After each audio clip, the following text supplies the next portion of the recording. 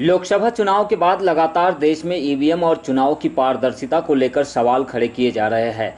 इन सब के बीच एपीआई के राष्ट्रीय अध्यक्ष भी सोशल मीडिया के माध्यम से भारत में व्यापक चुनावी सुधारों को लेकर अपना मार्गदर्शन दे रहे हैं।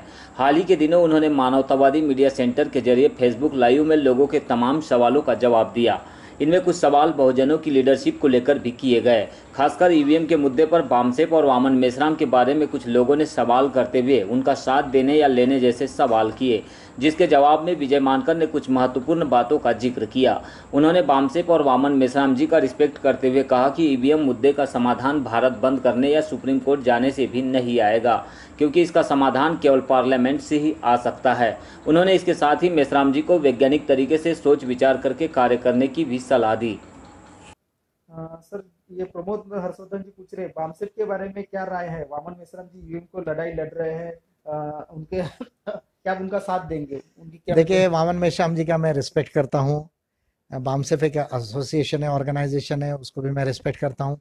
पर मैं ये मानता हूँ कि उनका मेथड साइंटिफिक नहीं है। तो उनको थोड़ा साइंटिफिक मेथड अगर अडॉप्ट करेंगे तो ज़्यादा अच्छा रिज़ल्ट आएगा। देखिए, मैंने तीन, दो साल पहले मैसेज भिजवाया था कि ये जो वामन मेश्याम जी ने जो सुप्रीम कोर्ट में जो ईवीएम का जो पिटिशन डाला था रिट पिटिशन डाला था, उसका एक कॉपी जो है वो मेरे पास में भिजवाया और वो मैसेज प्रॉपर गया था। मैं चाहता था कि उस पिटिशन को मैं स्टडी करूँ। हो सकता है दो पॉजिटिव चीज़ें मैं उसमें कंट्रीब्यूट करता। उनके ही नाम से वो पिटिशन रहता, कोई दिक्कत नहीं होता तो शायद थोड़ा ज़्यादा अच्छा ऑर्डर आता था। दूसरा बाम से wasted a lot of time already Sharad Yadav और ये लोग उनके साथ में थे। वो ऑलरेडी मेंबर पार्लियामेंट थे, अभी तो वो हार गए हैं। उस समय में ये ईवीएम का जो मैं बार बार कह रहा हूँ कि ये इतना खटपट करने की ज़रूरत ही नहीं है।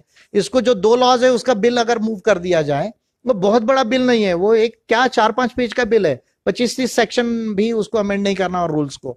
तो वो जो है पार्लियामेंट में अगर मूव होता और कांग्रेस को भी कंपेल करते तो उस समय में एमपी का इस तरह का बैलेंस भी था कि शायद वो बिल निकल जाता और आपको जितना रेमेडी चाहिए था बैलेट का या पेपर ट्रेल काउंटिंग का जो भी डिसाइड करते वो आ सकता था उसमें, वो लॉ में लाया जा सकता है।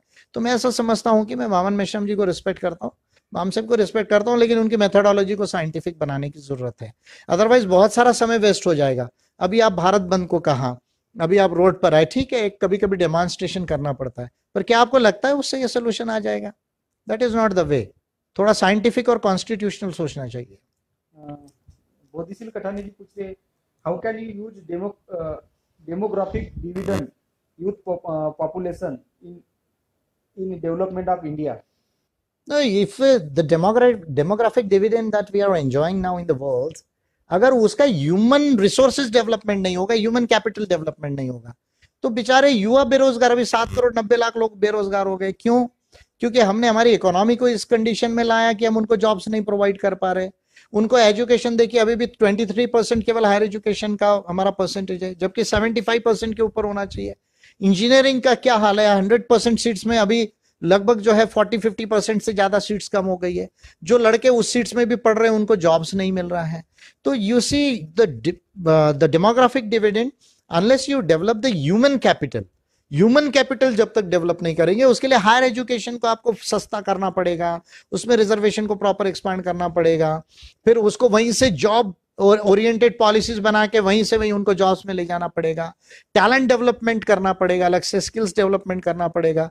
इस तरह का अगर पॉलिसीज़ अगर किया जाए, तब जाके ये जो युवाओं का हमारे पास जो डेमोग्राफिक डिविडेंट है, जो काम करने वाली पॉपुलेशन है साठ साल तक की तो उनका जो है वो हम यूटिलाइजेशन कर सकते हैं। And already it is there in the policy of API but my dear it would require a government it will not require a person who goes one night and at the 8 pm he says okay my dear I have come and I have demonetized the 86% of the you see currency. I have declared it as an illegal tender now. तो ऐसा करने से ये नहीं होगा तो ठीक है अभी तो ये गवर्नमेंट को युवाओं ने भी चुना है तो इसको थोड़ा बियर कीजिए और 24 तक के मैं को जो काम करना है मैं तो कर ही रहा हूँ सबके लिए देश के लोगों के लिए